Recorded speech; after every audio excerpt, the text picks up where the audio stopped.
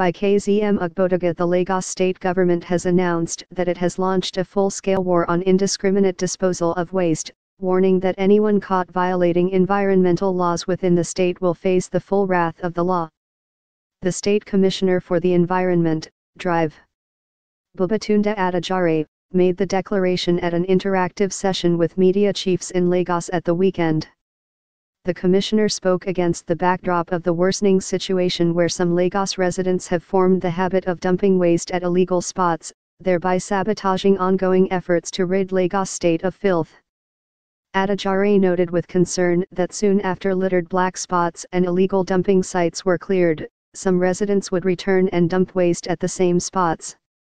He admonished residents to use approved and legitimate dumping sites to dispose their refuse to avoid arrest and prosecution. The Cleaner Lagos Initiative, CLI, was born out of the need for Lagos to employ the operating standards adopted by other countries in the area of waste management. With the introduction of the CLI, we have launched a full-scale war on improper waste management within the state. The CLI is the solution to the recurring complaints about the manner waste is disposed within the state. I have no doubt that it will be a huge success when we roll it out fully by next year, said the commissioner. Taking a cue from the state governor, Mr.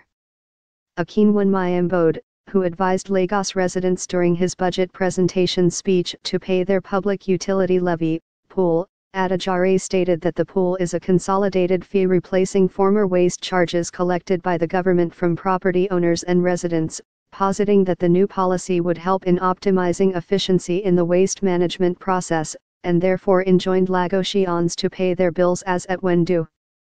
On the dispute between private sector participants, PSPs, and the state government, Adejare said the PSPs lacked the capacity to handle the over 10,000 metric tons of waste generated in Lagos daily in an effective and scientific manner, adding that Lagosians would see the impact of the new arrangement when it becomes fully implemented.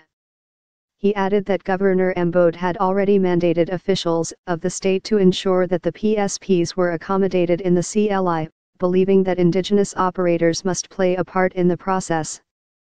Adejare said that as a result, qualified PSPs would handle the evacuation of commercial wastes in Lagos state under the CLI.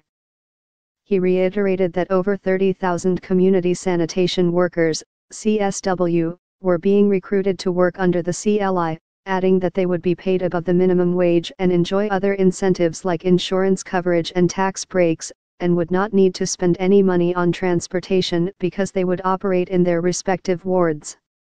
Besides, Adejare praised the management of Visionscape Sanitation Solutions Limited. For the roles they have played in helping clean over 1,000 litter black spots and illegal dump sites to date within the state as an interim measure.